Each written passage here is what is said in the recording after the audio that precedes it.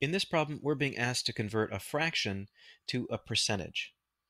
To do that, it only takes these two steps. First, you do the division. Every fraction really is a division problem. That's what this line means. This is 4 divided by 41. So you do that division with a calculator, and then you multiply by 100. So let's see what happens when we do that here. So I've got 4 divided by 41 and I get this 0.0975, etc. And then I multiply by 100. You know, multiplying by 100 is the same as moving the decimal point two places. So if you want to do that shortcut, you can, or you can just type in times 100.